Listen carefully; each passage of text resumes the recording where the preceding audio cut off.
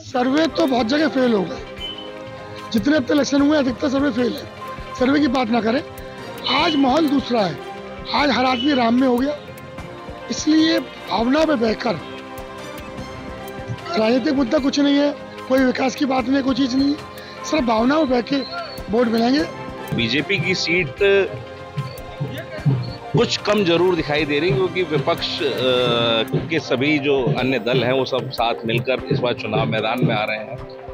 तो जो लग रहा है वोटिंग परसेंटेज बीजेपी का थोड़ा कम होने की इस बार आशंका देखिए, ऐसा कांग्रेस से शुरू करें तो कांग्रेस की एक सीट रायबरेली सपा की बात करें तो चार सीट। और उसके बाद बात करें तो बाकी की पिछहत्तर की पिछहत्तर सीटें भारतीय जनता पार्टी को जीतने से कोई रोक नहीं सकता, विकास की आंधी चल रही है। ये आगरा है और आगरा की ये सड़क सीधे ताजमहल पूर्वी गेट पर जाती है। लाखों पर्यटक डेली ताजमहल देखने के लिए आता है, जो इसी सड़क से जाता है।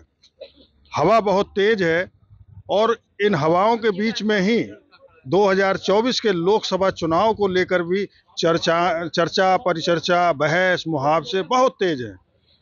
आज तक ने सर्वे कराया और सर्वे के अंदर भाजपा को भारी बढ़त जो है दिख रही है।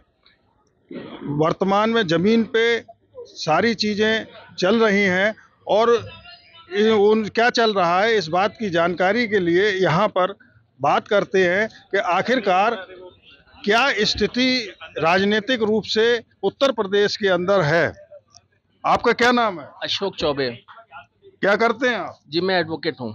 अच्छा ये बताइए जो लोकसभा का चुनाव अब होगा 2024 में, उसमें आपको क्या लग रहा है? और जो एक सर्वे आया, किया है आज तक ने, उस सर्वे के अंदर आया है कि इकहत्तर सीटें भाजपा को मिल रही हैं, बहत्तर, और सात सीटें समाजवादी पार्टी को, और एक सीट मिल रही है कांग्रेस को। बसपा को सीट नहीं मिल पा रही है।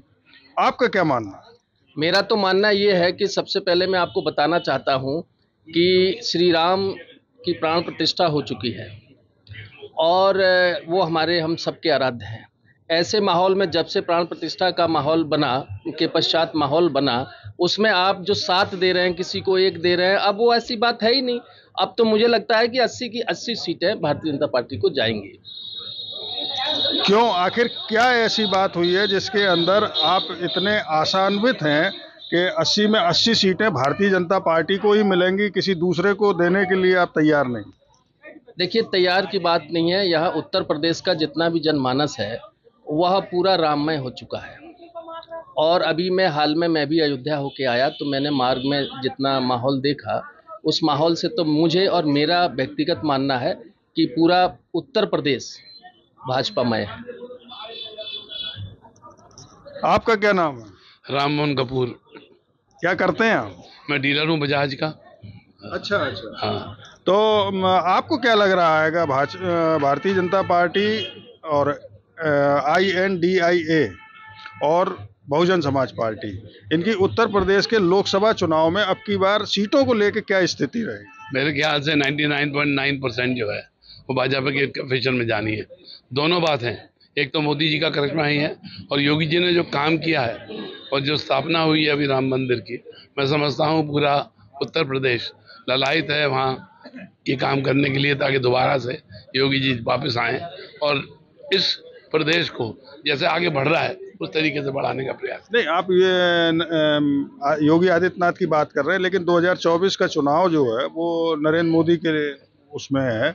और उसके उसके संबंध में बात हो रही है। देखिए नहीं ये लोक ये विधानसभा का तो नहीं लोकसभा का है। तो नेचुरली यहाँ से जितने भी ज़्यादा आएँगे बिकॉज़ दे विल डिसाइड कि प्राइम मिनिस्टर कौन बनने वाला है। क्योंकि बीजेपी को अगर जीतना है तो सबसे ज़्यादा उनको अपनी उत्तर प्रदेश में स्थिति क्या रहेगी आपके हिसाब से 99 मैंने बोला ना 80 नहीं तो कम से कम 78 सीट मेरे हिसाब से ज़रूर आएँगी। एक आध दो अखिलेश जी अगर ले जाएँ अपने रूप के ऊपर तो आ सकता है। मुझे बहुजन समाज पार्टी का या और किसी कांग्रेस का तो मुझे कोई भी अंदेशा नहीं है मतलब कांग्रेस की रायबरेली जो सीट है और अमेठी जो थोड़े वोटों से वो हारे थे कांग्रेसी वो भी आपकी नज़र में जो है इस अब की बार नहीं आ रही है? नहीं मैं समझता हूँ स्मृति ईरानी जिस तरीके से पूरा डेडिकेशन से काम किया है मुझे नहीं लगता कि दोबारा वो किसी और को चांस देंगे उस शायद। और रायबरेली? रायबरेली? रायबरेली की तो अभी कहा नहीं जाता क्योंकि अभी वहाँ कंटेस्ट में वो कितना उतारे किसको उतारेगी भाजपा उसके ऊपर डिपेंड करेगा। इसलिए मैंने दो तीन सीट की बात करी है। अगर गई कांग्रेस के पास तो एक सीट आ सकती है कहीं से भी आएगी तो। बाकी आज मुझे नहीं लगता कि कहीं। तो ये सर्वे से कहीं ऊपर की बातें हो रही हैं और इन बातों के बीच में यहाँ पे कुछ पंचायत सी भी लगी हुई है और बातचीत के बीच में चुनावी जानकारियाँ लेते हैं। आपका क्या नाम है? मेरा राकेश कुमार चौहान। ये बताइए, उत्तर प्रदेश में अब की बार जो सीटें आ रही हैं तो वो हम लोगों ने एक सर्वे कराया था आज तक ने। उस सर्वे के अंदर 72 सीट बीजेपी की आ रही है, सात समाजवादी पार्टी और एक कांग्रेस। बसपा को एक भी सीट नहीं मिल रही। आपका क्या मानना है? सर्वे तो बहुत जगह फेल हो गए। जितने अब इलेक्शन हुए, अधिकतर सर्वे फेल है। सर्वे की बात ना करें। आज माहौल दूसरा है। आज हर आदमी राम में हो गया। इसलिए भावना में बहकर राजनीतिक मुद्दा कुछ नहीं है कोई विकास की बात नहीं है कोई चीज़ नहीं है। सिर्फ़ भावना में बह के वोट मिलेंगे तो अवश्य ही सीट ज़्यादा ही आएँगी बीजेपी की। कितनी ज़्यादा आएँगे और विपक्ष को कितनी मिल सकती है? देखिए आधे आधे का तो रहेगा। आधे आधे का रहेगा। आधा विपक्ष आधा बीजेपी। तो पिछली बार तो आधा आधा नहीं था अब की बार आप विपक्ष को ज़्यादा दे रहे हैं? क्यों नहीं? क्यों नहीं मिलेगा? ऐसा क्या कारण है? भाई आपने सिर्फ़ भावनाओं में तो बहे हैं। विकास तो किया नहीं। विकास की बात करें विकास कहाँ आप ये भी तो कह रहे हैं कि सब कुछ राममय हो गया। है राम में क्यों? ये भावनाओं में बहा आदमी। देखिए इमोशनली कितनी बार केस करोगे आप? उसकी भी एक मर्यादा है उसकी लिमिट है। कब तक करेंगे आप? आपका क्या नाम है? मेरा नाम ब्रज है। आप कंधे आप यहाँ पे भी हाजिर हैं? जी हम अभी वेट कर रहे हैं उसका। अच्छा ये बताइए कि अब की बार उत्तर प्रदेश के अंदर जो राजनीतिक दल है आपको क्या लग रहा है कौन सा राजनीतिक दल कितनी सीटें जीतेगा? और आज तक का जो सर्वे हुआ है उस सर्वे के अंदर लगभग बावन परसेंट वोट बीजेपी को मिल रहे हैं और छत्तीस परसेंट वोट करीब आई एन डी आई ए को मिल रहे हैं और चार परसेंट जो वोट है वो बसपा की तरफ़ जा रहा है। तो आपको क्या देख रहा है? देखिए, जो सर्वे है, सर्वे कई बार फेल भी हुए हैं, लेकिन सर्वे में आठ दस परसेंट का ऊपर नीचे ज़रूर देखने को मिलता है हर बार, हर चुनाव में। इस बार लोकसभा चुनाव की बात करें तो बीजेपी की सीट कुछ कम ज़रूर दिखाई दे रही क्योंकि विपक्ष के सभी जो अन्य दल हैं, वो सब साथ मिलकर इस बार चुनाव मैदान में आ रहे हैं। तो जो लग रहा है वोटिंग परसेंटेज बीजेपी का थोड़ा कम होने की इस बार आशंका है। आप विपक्ष कहाँ आ रहा है? सपा बसपा सब अलग अलग है ये। मेन तो यही दल है उत्तर प्रदेश के। लेकिन ये क्षेत्रीय पार्टियाँ हैं जिस तरीके से तो वो यूपी की बात अलग है लेकिन अन्य राज्यों में बीजेपी को भी फाइट देखने को मिलेगी अन्य दलों से। इस यूपी की बात करें तो यहाँ पर समाजवादी पार्टियाँ भी मजबूती से चुनाव लड़ने को तैयार है और बसपा भी अकेले चुनाव मैदान में है। तो इससे ज़रूर बीजेपी को कुछ फ़ायदा ज़रूर मिल सकता है इन क्षेत्रीय पार्टियों के अलग चुनाव लड़ने से। आपका क्या नाम है? मेरा नाम दीपक दान है।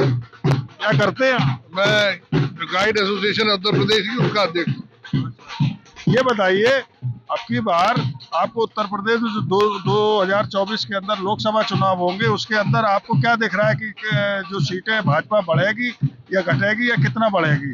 और अन्य दलों का क्या रहेगा? देखिए ऐसा कांग्रेस से शुरू करें तो कांग्रेस की एक सीट रायबरेली सपा की बात करें तो चार सीट। और उसके बाद बात करें तो बाकी की पिचहत्तर की पिचहत्तर सीटें भारतीय जनता पार्टी को जीतने से कोई रोक नहीं सकता। विकास की आंधी चल रही है। जिस तरह से पर्यटन को देखिए, जिस तरह से लॉ एंड ऑर्डर को देखिए, जिस तरह से आप इंफ्रास्ट्रक्चर को देखिए, जिस तरह से विकास की बात हो रही है, हर आदमी, किसी भी धर्म का हो, किसी भी जाति का हो, बिल्कुल बेखौफ जी रहा है। इससे पहले ऐसा उत्तर प्रदेश कभी नहीं देखा और हम तो ये चाहते हैं कि भारतीय जनता पार्टी की सरकार भरपूर आए और पूरे दम से आए और विकास को ऐसे ही आगे लेके जाए आपका क्या नाम? शिवांका शर्मा। अच्छा क्या करते हैं आप? मेरा गेस्ट हाउस है। अच्छा। ये जो अब की बार 2024 में लोकसभा चुनाव होने जा रहे हैं इसमें आपको क्या लग रहा है? कितनी सीटें किसके हिस्से में आ सकती हैं? यूपी के अंदर अगर देखा जाए तो यूपी के अंदर तो 70 प्लस बीजेपी का 70 प्लस रहेगा। और अगर अ, पूरे देश का देखा जाए तो सेंट्रल लेवल पर 350 प्लस ये मेरा अपना आकलन है। निजी उत्तर प्रदेश के अंदर कांग्रेस और सपा की क्या स्थिति रहेगी? जो है वो भी नहीं रहेंगे। तो फिर सेवेंटी प्लस क्या हुआ? वो तो सभी चली गई। नहीं ऐसा नहीं है कि कुछ और घटक दल भी हैं जो लेकर के आएँगे। अब बाकी दलों की स्थिति स्पष्ट नहीं है कि कौन किसके साथ जा रहा। है बसपा या रालोद वगैरह ये अपनी सीट लेके आएँगे। मैं सेवेंटी प्लस का मतलब सेवेंटी प्लस। आपका क्या नाम है? मेरा नाम शमसुद्दीन खान है। अच्छा ये बताइए उत्तर प्रदेश में अब की बार आपको क्या लग रहा है किसके हिस्से में कितनी सीटें आ जाएँगी? और एक सर्वे किया है आज तक ने जिसके अंदर 72 सीटें आई हैं भाजपा की और सात सीटें आई हैं समाजवादी पार्टी की और एक सीट आई है कांग्रेस की। आपको क्या लग रहा है? देखिए जो दिखता है वही बिकता है। आज जो पोजिशन है यूथ की वो यूथ कल क्या हुआ उसको नहीं जानता है। वो यूथ आज देख रहा है वो अपना भविष्य देख रहा है। उस भविष्य को देखते हुए वो डिसाइड करेगा कि मैं आगे कहाँ जाना है। तो आज की जो पोजीशन है उसमें बीजेपी वर्चस्व में आएगी इसमें कोई दो राय नहीं। अगर आप इंटरनेशनली देखें तो इस देश की जो जो आइडेंटिटी है राउंड द वर्ल्ड वो बहुत हाई हो गई है। लोकल कुछ प्रॉब्लम्स हैं वो आपस में बैठ कर डिसाइड की जा सकती है। कुछ हर जगह अच्छे और बुरे लोग होते हैं, कुछ लोग अच्छे हैं, कुछ ज़्यादा बुरे हैं जो ये फ्रैक्शन डालते हैं हिंदू, मुस्लिम दिस एंड दैट तो मेरा मतलब ये है कि बीजेपी ही जीतेगी। राजावाल सपा का तो सपा का ये जो दलदल बनी है ना, इस दलदल को बहुत लोग देख चुके हैं। रिज़ल्ट क्या आया? ये सबके सामने है। हमारे लिए तो देश पहले है, शहर पहले है, अपने लोग पहले हैं। तो हम उसको देखेंगे या हम, ये देखें कि सब जात बरादरी बढ़ता के यादव कौन है और जाट कौन है, ठाकुर कौन है। तो बींगे मुस्लिम हम चाहते हैं कि यूनिफिकेशन होना चाहिए पब्लिक में और उस एतबार से बीजेपी को सोचना चाहिए कि हम इसी देश के वासी हैं, हमको उसी तरह से ट्रीट किया जाए। ये ये तो आपकी अपनी बात हो गई। आपको क्या लग रहा है, उत्तर प्रदेश में कितनी सीटें आएँगी किस किस किस दल की? उत्तर प्रदेश में 65 प्लस आएँगी बीजेपी की। लेकिन फुल मेजोरिटी में जो सोच रहे हैं, वो अभी ऐसा लगता नहीं है। क्योंकि साथ साथ दूसरी जो पार्टियाँ हैं, वो भी एफर्ट्स कर रही हैं। लेकिन इस पूरे उसमें देखा जाए तो सब, बसपा का कहीं कोई चीज़ नज़र नहीं आ रही है। लेकिन सपा की थोड़ी बहुत जो एक इज़्ज़त बची हुई है, उस पर थोड़ी बहुत सीटें आ जाए, लेकिन बाकी के लिए नहीं है। लेकिन सपा की सपा की इज़्ज़त बची हुई इन्हें नज़र आ रही है और उसी के बीच में सारी बातें कही जा रही हैं। इस बात से किसी को ना इतफाक़ी नहीं है कि बीजेपी की बढ़त रहेगी। बाकी थोड़ा आगे थोड़ा पीछे सबके विचार हैं। रिज़ल्ट बाद में पता लगेगा। एक कयास जो चल रहा है आम मतदाता के बीच में वो कहीं ना कहीं उसका गहरा झुकाव भारतीय जनता पार्टी की तरफ़ है। हालाँकि सपा और कांग्रेस को भी वोट सहित माना जा रहा है, कोई ऐसा नहीं है कि बहुत नुकसान में देखा जा रहा है। अरविंद शर्मा, आगरा, यूपी तक।